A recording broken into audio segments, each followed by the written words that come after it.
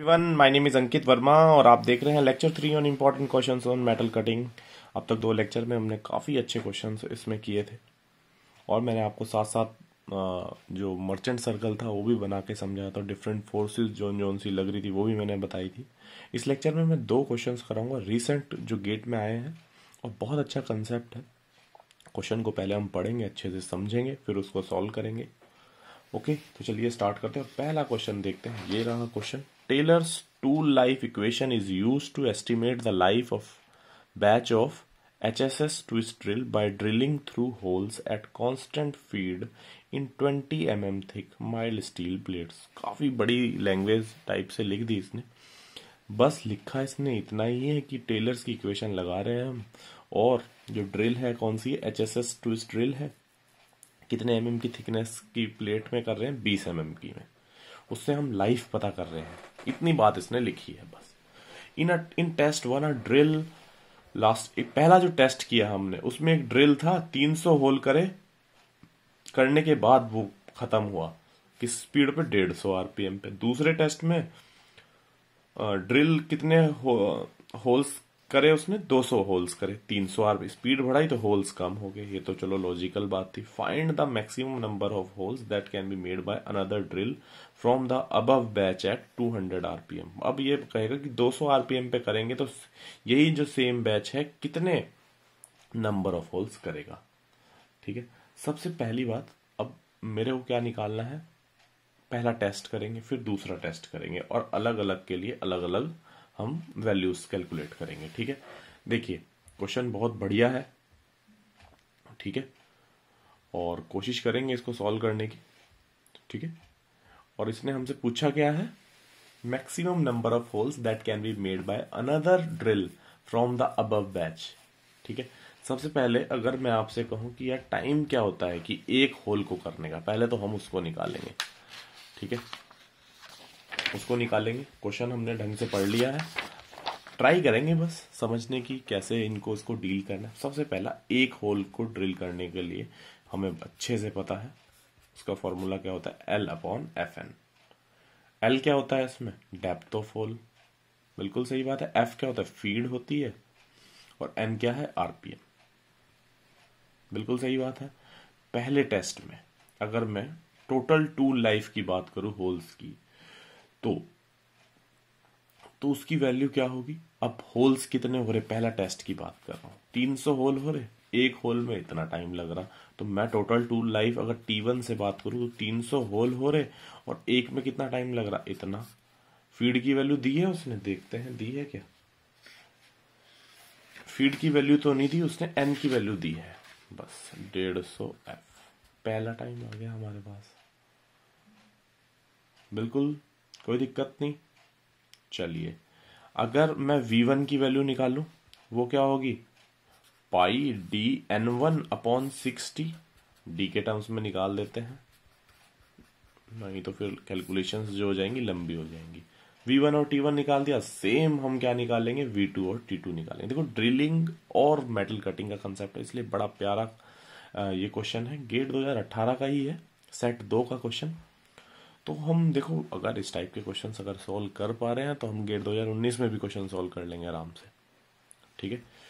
और देखिए test to की अगर बात करूँ मैं तो उसमें 200 ही तो होल कर पा रहा है और एक के लिए एल अपॉन लेकिन स्पीड कितनी हो जा रही? इतनी हो जा रही। ये तो हो गया अपन का टी टू ये बात समझ आई? 200 से क्यों मल्टीप्लाई कर रहा हूँ? क्योंकि एक होल है ना। एक होल के लिए टाइम 200 होल हो रहे हैं तो टोटल टाइम निकाल दिया हमने। बहुत बढ़िया कोई दिक्कत नहीं।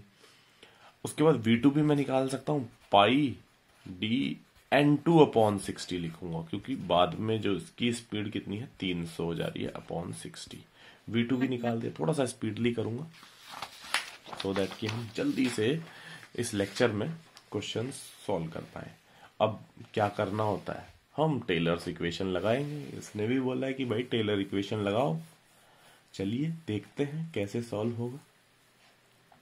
देखते हैं इसको भी।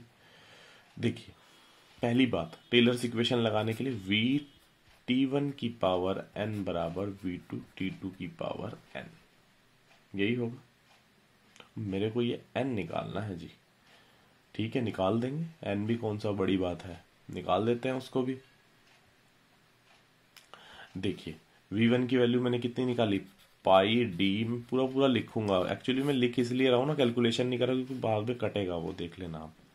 और टी वन की वैल्यू तीन सौ एल अपॉन डेढ़ सौ एफ़ की पावर एन बराबर।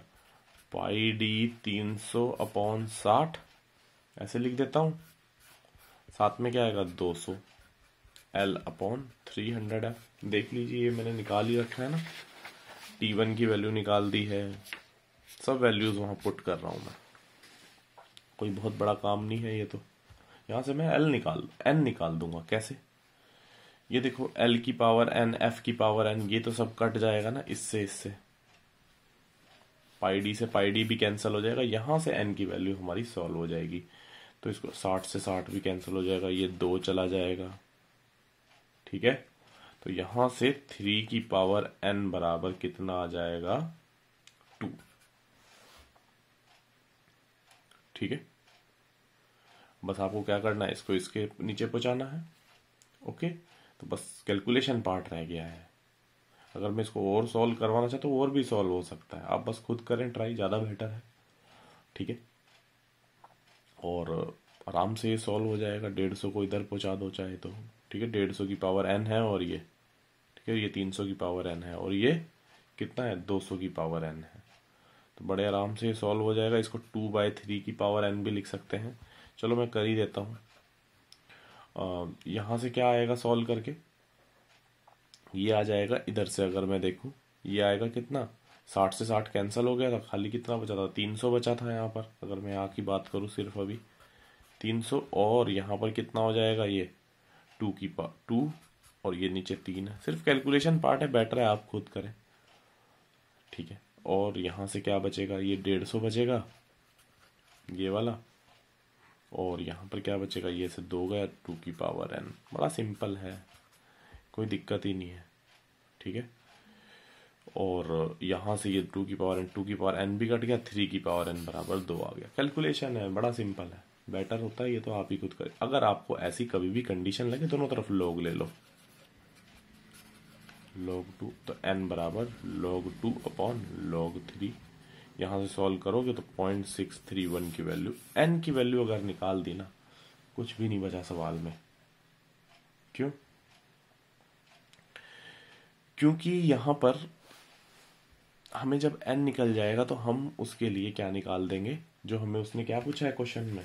क्वेश्चन में हमसे मैक्सिमम नंबर ऑफ़ होल्स पूछे हैं उसने। भाई, कितने नंबर ऑफ़ होल्स कर पाएगा वो?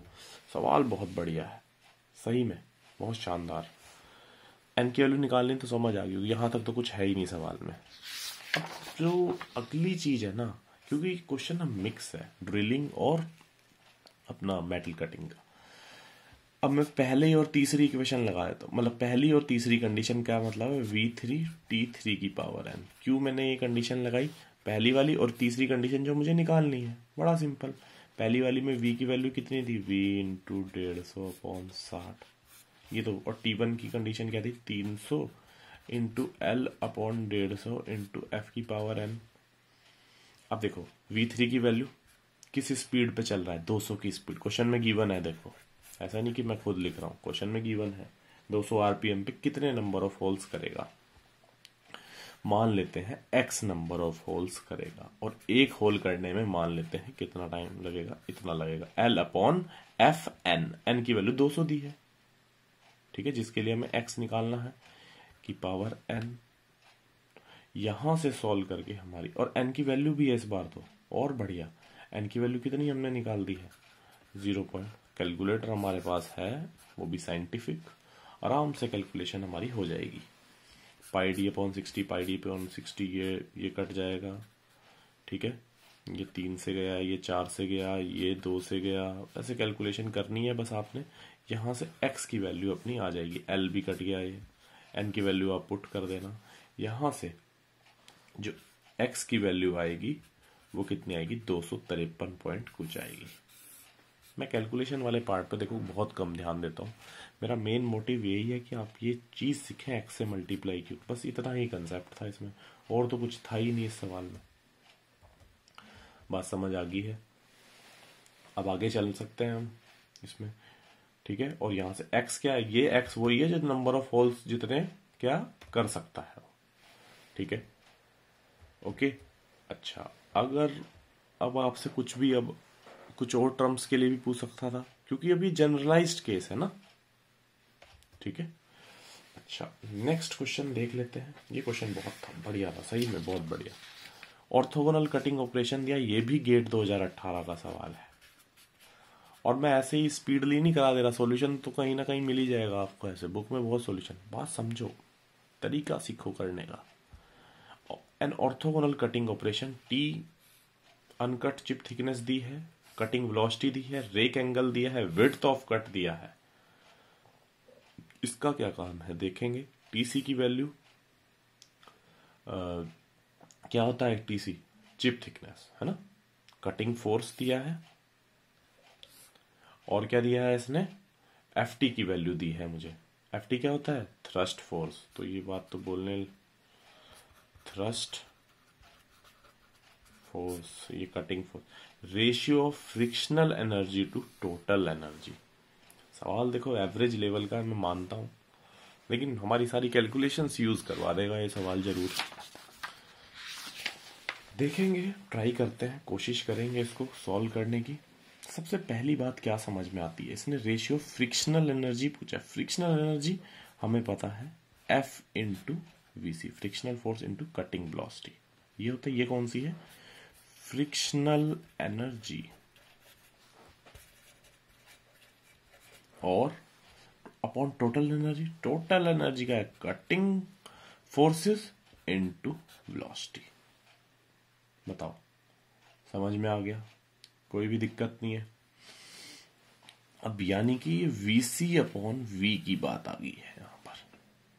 और हमें टी अपॉन टीसी वगैरह दिया है कुछ। देखेंगे ट्राई करेंगे उसको सॉल्व करने की। आ, मेरे को लग गया समझ में। ठीक है, कि यहाँ पर कुछ ना कुछ इसी का रेशियो आएगा। ये तो चीज़ हमें दी है, लेकिन एफ़ नहीं दिया इसने। क्या? फ्रिक्शनल फोर्स की वैल्यू लेकिन मुझे सर्कल से पता है और अच्छे से अब वेल नोन हो चुकी है कि ये F C sine alpha plus F T cos alpha होती है। कुछ अलग तो चीज़ नहीं है, बड़ी सिंपल है सिंपल फॉर्मूला है। हम ये लगा सकते हैं इजिली एफ़ बराबर। एफ़ सी की वैल्यू साठ दी है अल्फ़ा की वैल्यू भी दी है क्या? पंद्रह डिग्री दी है। ये तो डायरेक्ट ही लग गया यार। बहुत बढ़िया। उसके बाद एफ़ की वैल्यू कितनी हो जाएगी? Thirty nine point newton. अब इसने क्या पूछा? ये दोनों का रेशियो पूछा है। क्या मेरे से यहाँ एफ़ आ गया? बहुत बढ़िया, आ गया। एफ़ सी की वैल्यू आ गई है, साठ दी है। वी सी अपॉन वी की वैल्यू क्या होती है? अब मुझे पता है V C into T C बराबर वी इंटू टी या वी सी अपॉन वी की value T upon T C कोई दिक्कत? इसको आर भी बोल सकते हैं या उसको भी छोड़ो। जब हमें डायरेक्ट ही वैल्यू दी है zero point one zero upon zero point one five तो ये कितना आ गया? दो बटा तीन आ गया आर की वैल्यू तो यानी कि ये वाली वैल्यू कितनी आ गई? वी सी अपॉन वी दो बटा तीन। बस सिंपल सवाल अब। हमें ये रेशियो निकालना था ना? रेशियो को मान लेते हैं R F upon F C ये कितना निकला? Thirty nine point six seven. F C की वैल्यू साठ। वी सी अपॉन वी की वैल्यू कितनी है दो बटा तीन। तो यहाँ से सॉल्व कर लेना वैल्यू निकाल लेना। Point four four zero eight answer आएगा। देख लेना एक बार कैलकुलेशन कोई मिस्टेक ना हुई हो। क्वेश्चन बढ़िया था नो डाउट थोड़ा सा हमारे फॉर्मूलेज को ब्रश अप करा दिया इसने, ठीक है? और देखेंगे नेक्स्ट लेक्चर में हम कुछ और ऐसे ही क्वेश्चंस करेंगे सो so दैट कि हमारा जो जो भी गेट में क्वेश्चंस आ रहे हैं, देखो हमें जब एग्ज़ाम क्लियर करना है तो हमें पता होना चाहिए किस लेवल के क्वेश्चन आ रहे हैं, किस पे हमें ज़्यादा एनर्जी वेस्ट करनी है, ठीक है? तो लेक्चर सुनने के लिए धन्यवाद।